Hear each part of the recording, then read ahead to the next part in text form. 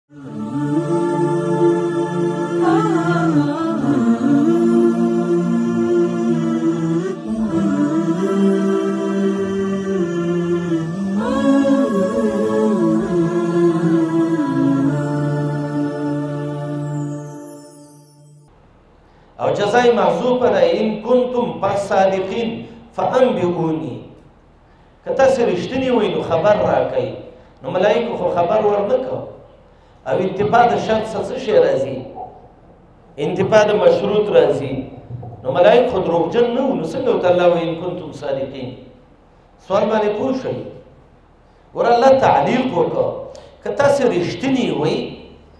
نو مال جواب راکړي نو سمانا که جواب هم رانه کړو به څه وي دروغ جنې وي نو ملائک خو دروغ نه وي نو څنګه ته الله وي کنتم صادقین جواب دار ګور صدق کله د کذب مقابل راځي د دروغ مقابل کې او صدق کله کله د خطا مقابله کې راځي نو ان کنتم صادقین ابن جریر او ابو حیان معنی کوي ان کنتم مصیبین فی دعواکم کله دعوه کې اختاسي حق وي او خطا نه وي نو شبې جواب را لرا کوي چې بدا وي چې ماته تا مال دولت را کړو ما غریبانو مسکینانو محتاج خلکو باندې هغه مال خرج کاوي تعاون مو سره تعاون مو سره کاوي دغه شهید جی هغه به وایئ چې یا الله تا ماته ژوند راکړی او ما ستا د دین په لار کې هغه ژوند چې دی قربان کړ. اعلاء کلمت الله دپاره مې قرباني ورکړه. جواب یې ورنه کړ چې ولې نه کړ؟ ادبي جواب یې ورکړ. علم له. قالوا سبحانك لا علم لنا الا ما علمتنا انك انت العليم الحكيم اظهار د عجز د ملائکو او اعتراف د دوی په قصور د علم باندې آیات کې دی د کوي وتوي رب العالمین ته پاکي سبحان مصدر دی یا اسم مصدر دی او دا به اختلافي مسله ده وګدا چې دا ثلاثیونه دی او کله مزیدونه دی خو دا کلمه به مستعمليږي د اعتراف بالقصور د پاره انسان کې چې کمی نو کلمه د سبحان وي موسی عليه السلام سوره اعراف کې ویلي وکړه سبحانك یونس علیہ السلام چې درېب ته تلې انبیا کې دي سبحانك لا علم لنا ابن جرير معنی کوي تنزيها لله من ان يكون احد يعلم علم الغيب الله پاک دې ردینا چې یو تن دې په غیب باندې پوه شي پنځیش زه قران کې د سبحان لفظ راغلی دی تسبیح چې ده مونځ ته وایي تغابن او جمعه کې په معنا د خدمت سم راغلی ده تعجب ته هم وایي سبحان بني اسرائیل کې تقریبا د تسبیح واته معنی علما ذکر کوي دلته سبحان راغلی دی د پاره د اعتراف د قصور الله منګه د خپل خبره کې الله منګه اقرار کو چې موږ په کم باندې یو الله لا علم لنا لا من علم نشته بس امام رازی وی وای دا دلیل ده د خبره باندې چې ملائک عالم الغیب نه دي ښا الله تعالی عالم الغیب الله من عالم الغیب دی رب العالمین امام قرطبي دلته یو عجیب خبره لیکلې ده وای د ملائکو نه ادب یادول غواړي چا نه ادب یادول غواړي ملائکو نه چې یو خبره باندې نه پوهیږي نو وی و چې لا دري او لا اعلم بس نه پوهیږم ور ملائکو لا علم لنا الله من علم نشته چې شي باندې علم نه بس رب العالمین او ته هغه مونږ منی سي الله صحابه کې دا صفت دی روخه رسول الله علیه السلام یو ځل تپوس کوي ای البقاع خیر دنیا کې کوم ځمکه غوړه دي چاته تپوس وکړه د نبی اسلام نه رسول الله ته وی لا دري حتا سره جبريل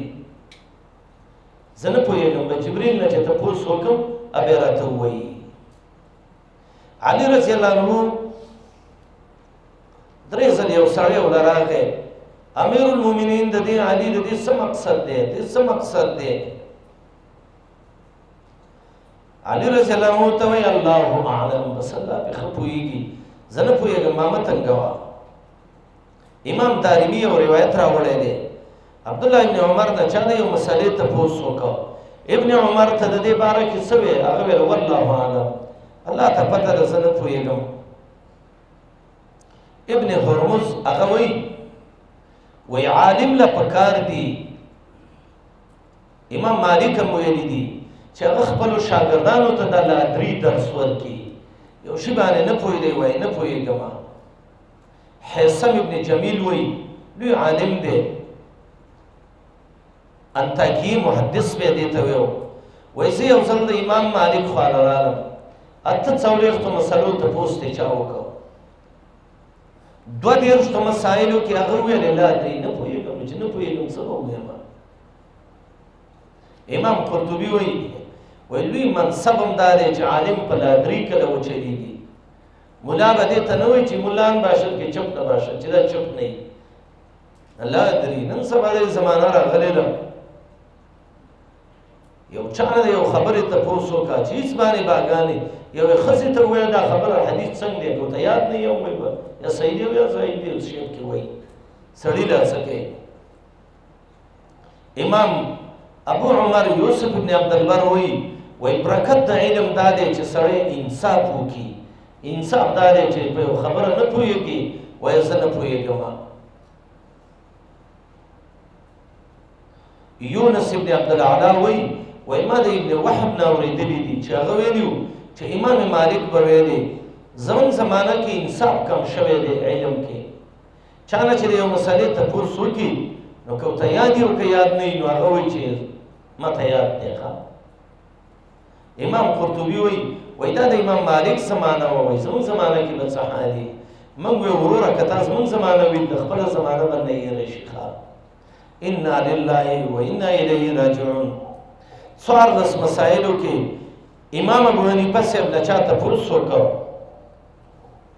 او مسله څنګه ده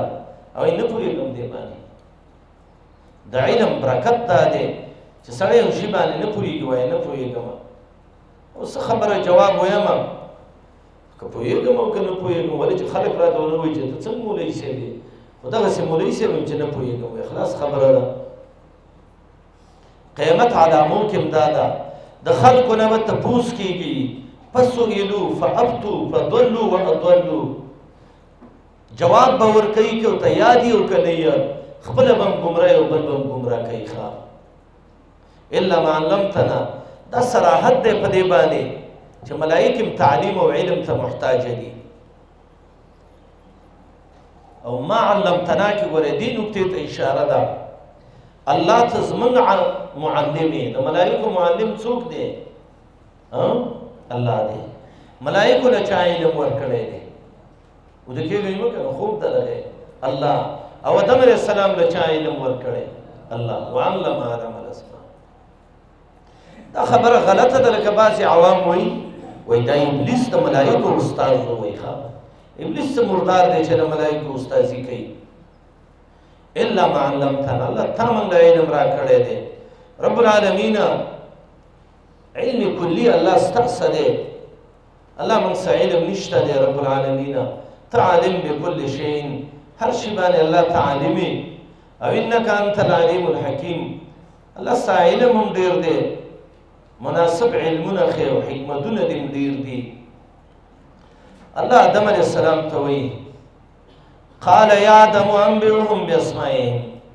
زه آدم ته له اوس په دې نومونو خبر ورکا شابه خبر ور ورکا دا څه شی دی دا څه دی دا څه دی دا څه دی شرافت د آدم علیه السلام اوسه او دا ته رب العالمین ویلو یا آدم زمونږ د پیغمبر الله سره ډېر قدر دی ورخه ډېر قدر دی رب العالمین د محمد رسول الله ډېر قدر کوي آدم علی السلام ته وی یا آدم اے آدم نو می یاد کړ ابراهیم علی السلام ته وی ایا ابراهیم اے ابراهیم یا موسی اے موسی یا شعیب اے شعیب لیکن زمن پیغمبر ته الله وی یا ایها الرسول یا ایها النبی یا محمد یو ته نه دی ویلي منګه منی کړیو چې تاسو ته یا محمد نه وی وی او سوره حجرات کې وی چې دا یا محمد وته وی د قمقلی ګور اکثر هم لا یعقلون یا آدم و آدم علیہ السلام خبر ورکدی لا په نومونو ده دی خبر کدی لا فلما انباهم کله چې خبر ولا ورک په نومونو دا پلانې دی پلانې شی دی پلانې دی قال الله ویلی الم اقل لكم متى استنویلی انی عالم غیب السماوات والارض چې زه خو پوهېږم په هغه پټو څیزونو د اسمانونو او ځمکو باندې ورد الله نه خو غیب نه نو څنګه وي غیب السماوات معنی الغائب من الخلائق چې د مخلوق نه غایبي الله چې دی نو لا يخفى عليه شيء في الارض ولا في السماء الله باندې هیڅ شی دغه نه دی دا پټ نه دی نه اسمانونو او ځمکو کې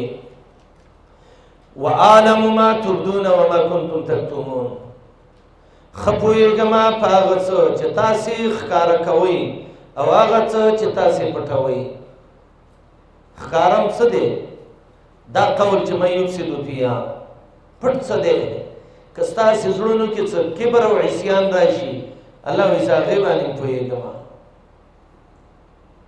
زه په دې پټو ښکارو باندې بلکل پوهېږم او ما تکتمون کې دې ته اشاره ده چې الله نه هیڅ خبره څوک نشي پټولای به دې کې د علماو یو اختلاف جوړ شوی دی چې پیغمبران غوړه دي او که ملائک غوړه دي خطیب شربینی وایي د دې واقعې نه معلومیږي چې انبیا د ملائکو نه غوړه دي ځکه علم افضل دی د عبادت نه او د آدم علی السلام پیغمبر دی د علم ډیرو دوی میات نه دا معلومه شو چې په علم د ملائکو کې زیاتواله راځي ان علوم الملائکه وکمالاتهم تقبل زیاده زیادت قبلې فلسفه چې وایي چې ملائکه عقول دي او د علم نه زیاتېږي دا د غلطه خبره ده او دغه ملائک چې دي د علم والاو ته وزري دي امام ابن قیم لیکلی دي مفتاح دار السعاده کې چې دې قصه کې ډیر دلایل دي په دې باندې چې څه دی علم ډیر فضیلت شی دی الله آدم علیه السلام ته علم وښود وعالم ما تبدون وما كنتم تكتمون فوائد د آیاتونو د درې آیاتونو یو بیان قدرت الله حيث علم آدم اسماء المخلوقات كلها دا الله قدرت چې آدم علیه السلام ته نونه خو دي بیان شرف العلم وفضل العالم على الجاهل فضیلت الاعتراف بالعز والقصور شبانه نه پويږي نه پويږي کنه سبحانك لا علم لنا جواز العتاب على من ادعى دعوا هو غير متأهل لها چې یو دعوه دې وکړه او ته اهل نه وي نو څوک ملامت کړي چې نو به نه خپه کیږي ملائکه ویلي چې بس اتجعل فيها من يفسد فيها الله ملامت کړه علم قل لكم اني اعلم غيب السماوات والارض بل دې ته اشاره ده امتحان هم کله جایز دی امتحان خو به دی کنه بخاری باب ذکر کوي عرض المسأله على اصحابه ليختبر بما عنده من العلم استاد بکره امتحان ملي نفد علم غير د ملائکو نه سخت تعظیم د ملائکو د الله سبحانك لا علم لنا د الله نمونه العليم الحكيم اعلم جواز تقریر المخاطب بما لا يمكنه دفعه چې جواب نشي کولای اقرار وکا علم قل لكم اني عالم غيب السماوات والارض عموم علم الله بالمشاهده والغائب ظاهر او ښکارو چې زونو باندې د الله علم دی وعالم ما تبدون وما كنتم تكتمون د الله دوه قسمه صفاتونه سلبي او ثبوتی سبحانك دا سلبی او الا ما علمتنا دا ثبوتی بل دا قصه توتیا او تمهید د آینده نعمت ته چې کون آدم مسجودن چې آدم علیه السلام ته الله ملائکه باندې سجده کړې و وعلم خودلی والله آدم علیہ السلام ته الاسمان نمونه فطرت کې ولا چلیو كلها ټول نمونه ثم عرضهم بیرا پیش کړیو علی الملائکه په ملائکه دا نمونه چې شبه یو وي فقال الله تعالی انبئوني خبر را کوي باسماء هؤلاء فنمنو دې شینو ان کنتم صادقین که یې وي رښتینی په خپل دعوه کې او حق ته رسیدونکي په خپل دعوه کې قالو ملائکه ویلو سبحانك الله تفاکه لا علم لنا نشته من علم په دې باندې الا مگر ما هغه علم دې علمتنا چې تا تعلیم را کړې مونږ ته الله انك يقينا تجي الله انت خاص ته العليم ډیر پوی الحکیم ته ډیر حکمتون والای قال الله ویلو یا آدم آدم علیہ السلام انبئهم خبر کا دی ملائکو لا باسمائهم پنمونو د دې شینو فلما پس هر کلا انبئهم چې خبر کړیو ادم علیه السلام د ملائکو لا باسمائهم په نومونو د دې شینو قال الله تعالی الم قل لكم ايما تنويلي استفهام تقريري دی بالکل ویلی میو انی اعلم یقینا زر ډیر خپویګم استاسینا غیب السماوات والارض په پټو شینو د اسمانونو او د زمکو اپټ پټ سيزونه الله یې ماته معلوم دي وعالم ډیر خپویګم ما پاغه چې زونو تبدونه چې تاسو ښکارا کوي وما پاغه چې زونو کنتم چې وای تاسو تکتمون چې ټوله پټوي مقام پر درې نعمتونه ختم شو دې سره روستا څلورم نعمت ذکر کوي په انسانانو باندې چې انسانانو ستاسو نیکه ادم علیه السلام دا ما ملائکو کې معزز وګرځو څنګه الله ملائکو ته ویلي ادم ته سجده وکړي او دا به ان شاء الله اینده درسونو کې یو نن نور درس چټي دي زه خپل خطبه لازم ان شاء الله خالي ورځ کله جون را کوي الله صلی الله علیه وسلم علی نبینا محمد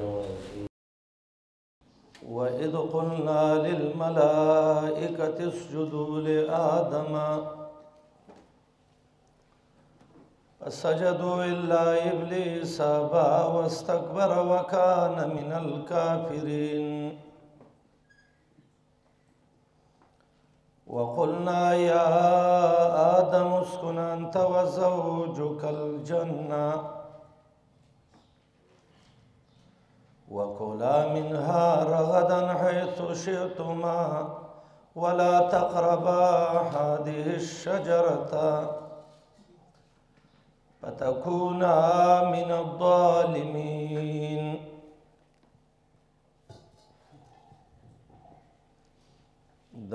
ادم علی السلام واقعا شروع د آیات کې الله رب العالمین یو بل نعمت ذکر کړي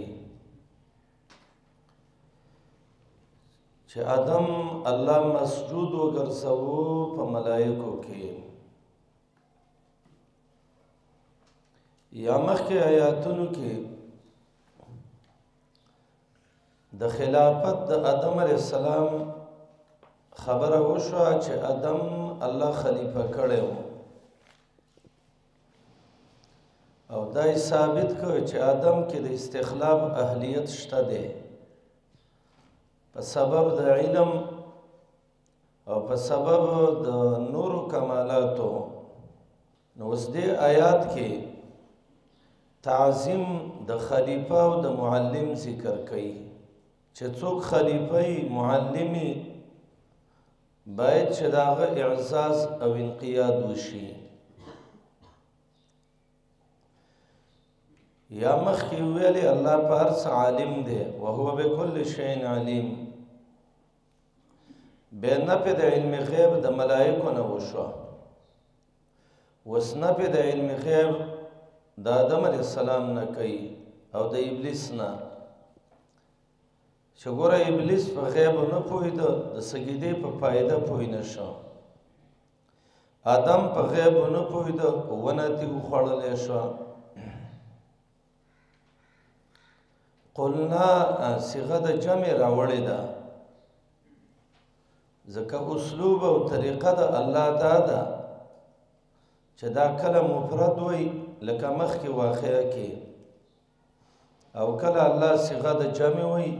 لکه دې واقعه کې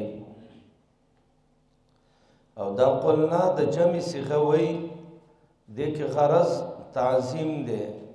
او اکرام دی او ذکر د امر الهی دی او دویمه وجه دا ده چې قلنا د جمع صيغه کې ویلې ځکه دا قول د ملائکو په واسطه شوی و نو هغه ډیرو نو صيغه د جمع راوړه چا دا نه کړی جی لیکن د دوی قیمت د اعمالو چې دی د الله په نيز دغه هیڅ قدر قیمت نه وي نو ځکه چې د ایمان یعنی په حالت کې که یو نیک عمل وسی نو هغه عند الله شرف قبولیت حاصلولی شي او که د سړي په عقیده کې خرابې وه نظریه سره د دې نه چې دا فیصله د څه د یو کس یې دې کې غرض تبخیم او لویواله او تعظیم مقصدی الله ملائکه ته ویلي د دې ملائکه نه کم ملائک مراد دي یو قول دا دی. تاسو دا وایئ چې دوی دا ګمان کوي چې دوی ښه عمل کړی نو ایا دا ښه عمل سره لمونځ، روژه، زکات وغیره دا بدۍ کړي نو بغیر د. ابن تیمیه صیب وایي، وهذا لیس من اقوال المسلمین دا د مسلمانانو قول هم نه دی، والیهود والنصارا او د یهودو او د نصاراو هم نه دی. چې بعضې خلک وایي چې ابلیس چې و ملایکو ته درس ورکو الله ته ویلې وایي دا نه د مسلمان قول دی نه د یهودو دی نه د نصاراو دی دویم قول او دا ډېر غوره دی چې دا قول ټولو ملایکو ته شوی دی تر دې چې جبرئیل او میکائیل هم پکې داخل دي قاسمی لیکلی دی وای دا د عام خلکو قول دی شیخ الاسلام ابن تیمیه وای رحمه الله ومن قال بخلافه فقد رد القرآن بالكذب والبهتان څوک چې د دې خلاف خبره کوي نو یقینا د قرآن په دروغ او بدنامي باندې رد کو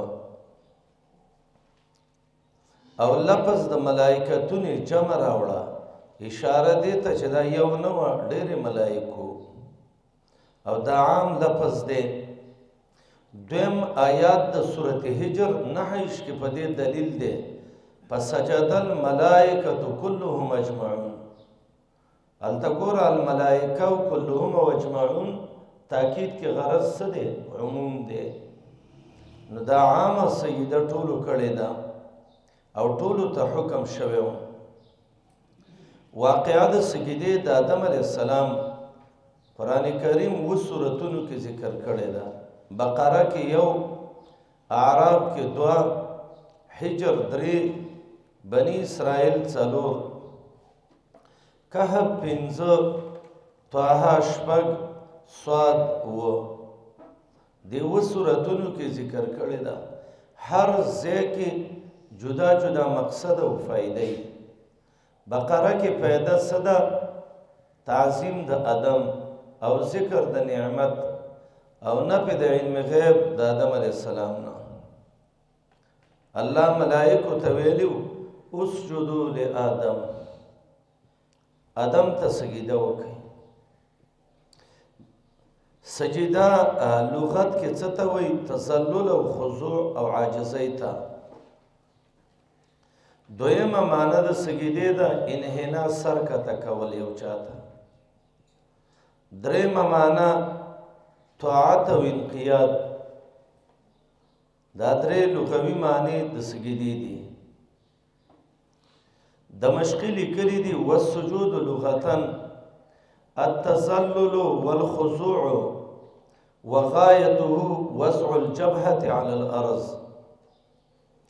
سجده په لغت کې تذلل او عاجزۍ ته وایي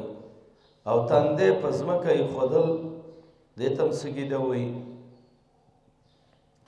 او شریعت کې سجده څه ته وایي وضع الجبهه على الارض على وجه التعظیم والعباده مخ او تاندې په ځمکه ایښودل چې مقصد پکې تعظیم او څه عبادت وي که دا پکې مقصد نه وي او سړی مزدوري کوي او څه باندې سر کې خود نو دې ته سګیده نه وي یا سړی په خاورو وده شو بعضې انسان نسکور وده کېږي نو دا سګیده نه ده ځکه سګیده کې تعظیم او عبادت مقصدي وضع الجبهه علی الارض علی وجه تعظیم والعباده دا اصطلاحي معنی د سګیدې ده دلته یو سوال دی سوال دا دی چې سجده خو غیر الله ته شرک دی او آدم علی السلام خو غیر الله او دا خو الله خو نو نو آدم ته سجده دا څنګه وشو چې الله ملائکه ته وی چې تاسو آدم ته سجده وکړي نو د دې علما غني معنی کوي قرطبي وایي وای وخت لفن ناسو په کیفیت سجود الملائکه لآدم دې کې د خلکو اختلاف دی چې آدم علی السلام ته څنګه سجده شوی و هغه وی اتفاق په دې باندې دی چې لم یکن سجده عبادت چې دا د عبادت سجده نه و دې باندې اتفاق دی ابن عادل دمشقی وی وی اجمع المسلمون على ان ذلك السجود ليس سجود عبادت د مسلمانانو په دې اجماع ده چې دا سجده د عبادت نه و دا اتفاق د مسلمانانو دی نو چې کله سجده د عبادت نشو نو دا کومه سګیده شو نو به دې کې د علماو اختلاف دی بعض علما وایي چې دا سګیده د انحنا وا سر کته کول ادم ته سرخ کته کوي ابن انباری د ډیرو علماو نه دا نقل کړی دا چې دا سجده تو انحناء و تحیه ولم یکو سجده تو عبادت و تعظیم دا د انحنا او د سلام دغه سلوټ وته وکي سر وته ښکته کوي به زمنګ دین کې نو فرمای هغه ټوکړه چې شي د الا وهي القلب هغه زړه زړه دی د زړه سره او د دماغ سره د انسان د عمل دومره تعلق نه لکه څومره تعلق چې د عقیدې جی جی یعنی زړه چې دی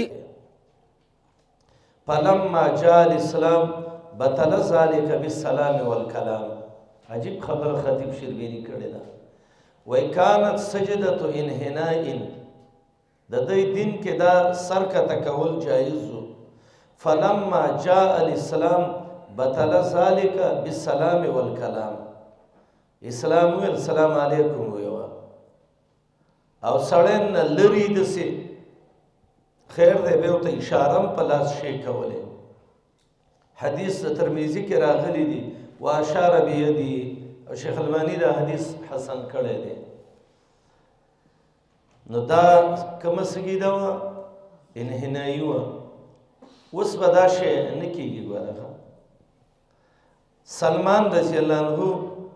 نبی علیہ السلام نه نقل کړي چې لا ينبغي لمخلوق ان يسجد لاحد من المخلوق انسان لا جائز ندي چې دا نور مخلوقات ته سر کته کی ابن کثیر وای قد کان مشروعا فی الامم الماضیه ولکنه نسخ فی ملتنا زمونږ دین کې دا منسوخ شوی دی حدیث د معاذ راوړی دی رضی الله عنه چې کله د شام ته راغلیو الته د خلک ویلد چې د یو مشر عالم سګیدی وته کولې نو دیرال محمد رسول الله ته وی کتا خوخه مونږ هم تاسو د سر کته سګیده وته وکړو رسول الله علیه السلام ته وی که سجده غیر الله ته جایز وي ما به خزه ته ویلی وی چې خاون ته سجده کوه دا وسریح دی دی باندې ترمذی دا روایت راوړی په باب حق الزوج علی المرأه چې د خاون په خزه څونه حق دی دی باب کې او دې باب کې تقریبا د معاذ روایت ده د سراقه روایت ده صہیب عقبہ عائشہ ابن عباس عبد الله ابن اوفا طلق ابن علی ام سلمہ انس ابن عمر الله دې د ټولو ناراضي شي امام ترمذی و په الباب څه ذکر کړی دی و زمانہ کې چې دا خبره بعضی خلک وایي اکثر چې ننګور راشي کورته نو خواخې او سر ته سر او سخر ته سر کته کوي نو بعضې چې راولي سادهګان ننګور راغلي هله به چې دې ته سګیده وکړه نو هغه ته سر ښکته کړي نو په اوله ورځ یې کاپي راکړي نو به وروسته څه خیری سخر مخ کې او دای د روسته نه په چپړو ودی وای زه وځه ټوخنه د د ټوخې دی جوړ کړی دا ته ولی وای ځکه دای خو د اسلام نه خلاف کار وکړ څنګه رسمونه څو مصیبتونه د ملک کې دي د کم یو مسړې د غو کې مخنیوي وکي بعضی علاقو کې جنې چې ودیږي دولت غواو د میخو سپې لاس کې ورکی و چې کور کې شوده ډېر راشي دا خو سره په یو فارم نه دی چې شو د ډېر راشي شو د چې الله نه یې دغه کړي هغه په دې نه دغه کېږي کنه د ډېرانون نه به دا پی بېدلې دسي دا بعضې خلک دسي چې دسي یو مشر مولا یا یو څوک ویني دا به ته ورو سر کته کی دله دا تاندې په یو څپېړه وال غواړي سر اوچت کړه الله بنده ته الله بنده پیژنې او ګرچا ته سر کته کې شلو صحابو نه دا نقل دي چې غیر الله ته به سر نه کته کې